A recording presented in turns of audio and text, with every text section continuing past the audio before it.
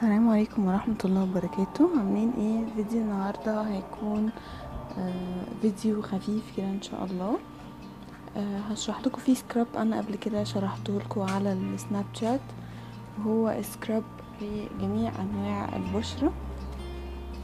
لأن آه اتقال لي إنه ال scrub اللي موجود في الصيدليات واللي موجود في الأسواق غالي جدا. ويعني ممكن كمان يطلع غالي وفي الآخر نتيجته ما تكونش آه كويسة ونتيجته غير مرضية. فعلشان ما نحطش نفسنا في أزمة إن الحاجة تكون غالية آه على الفاضي فأنا هعمل لكم دلوقتي سكراب آه إن شاء الله ما يبقاش غالي عليكم. السكراب ده هو مكونين اتنين بس زي ما قلت لكم إن هو هينفع لجميع أنواع البشرة. في ناس بتقول إن ما ينفعش البشره الدهنيه عشان فيه آه زيوت بس أنا بنصحكم أنا بشرتي دهنية وبستخدم فيه زيوت. أول حاجة هو السكر. أنا هحط طبعا أنا بعمل علبة تقعد معايا فترة طويلة. أنا بستخدم السكر اللي هو المدل مش المكعبات الكبيرة.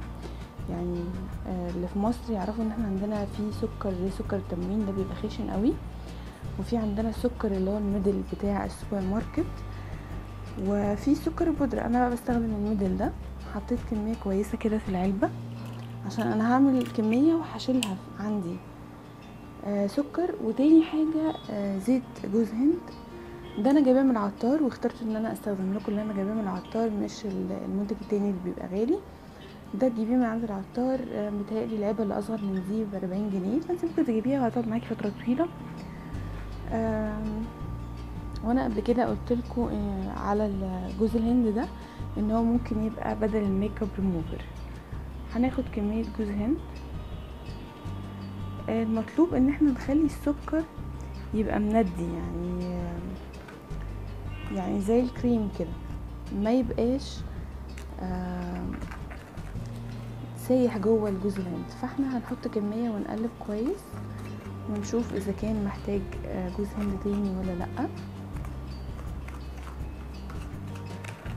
السكر مهمته إن هو طبعا اللي هو المتوسط ده علشان التاني بيبقى خشن قوي. آه مهمته إن هو يبدأ يعمل آه تقشير للبشرة ويجدد خلايا البشرة.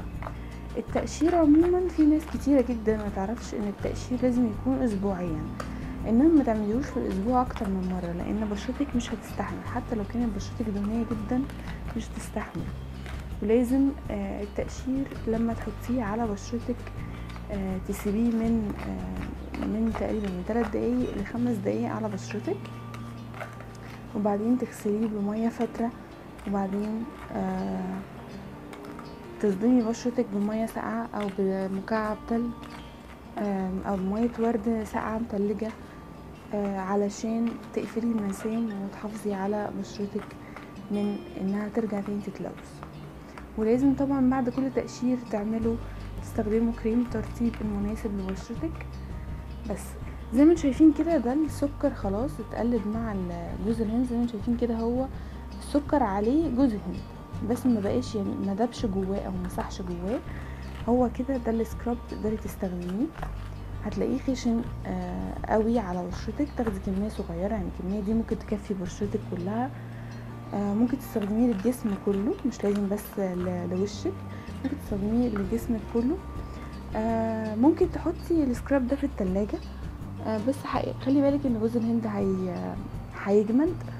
فممكن عادي تحطيه في في أوضتك أو في مكان بس مش سخن قوي مش بارد قوي وهتستخدميه براحتك. الكمية دي يعني لو حاولنا نقسمها ممكن تبقى مثلا تلات أو أربع مرات استخدام. وخلاص ما تحاوليش تعملي كمية كبيرة آه لأن الزيت والسكر ممكن يتفاعلوا مع بعض ويعملوا ريحة مش لطيفة. فالأحسن إن انت تعملي كل فترة كمية بكمية. وده كان كده scrub آه خفيف تقدري تعمليه في البيت رخيص. وإن شاء الله يجيب فايدة وزي ما قلت لكم هو لجميع أنواع البشرة. زيت جوز الهند مفيد جدا للبشره وبيسيبها ناعمة. لو انت خايفة ان هو ممكن يبقى وحش على بشرتك ممكن تستخدمي زيت زيتون بدل زيت جوز الهند.